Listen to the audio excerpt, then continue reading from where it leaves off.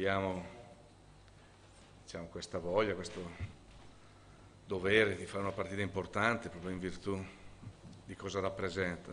Nello stesso tempo abbiamo eh, di allungare la classifica perché, visto i tempi che corrono, sicuramente riuscire a mettere punti eh, in classifica sarebbe effettivamente importante. Pensavamo di, di aver fatto un certo discorso in precedenza, purtroppo non è ancora, non è ancora chiuso, lo sapevamo, e, però è chiaro, il derby è il derby.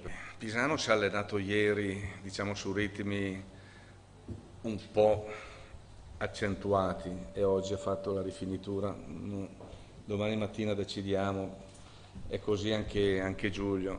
Eh, non si sono mai allenati in, questi, in maniera particolare in, questi, in, questo periodo, hanno fatto queste due sedute, eh, so, uno dei due sicuramente giocherà, adesso vediamo, vediamo perché rischio di perderli tutti e due strada facendo, visto anche il caldo e e sarà anche una partita anche sotto l'aspetto fisico molto dispendiosa. Abbiamo giocato anche con il Parma, con due punti e un trequartista, per cui non è, eh, questo non, non, abbiamo giocato anche fuori casa e non, e non ci sono problemi.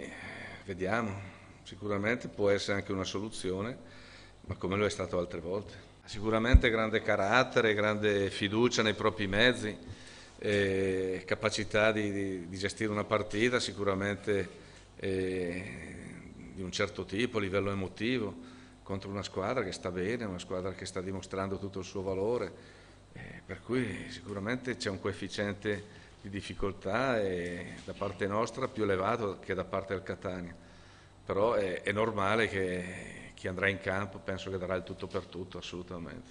Squadra. Ho visto la squadra nonostante la sconfitta in ripresa, devo dire, anche sotto l'aspetto eh, anche in virtù del primo tempo, purtroppo il calcio è questo, se la partita finiva al 45esimo avremmo tutti uno spirito e un atteggiamento diverso e vedremo le cose completamente da un'ottica eh, diversa.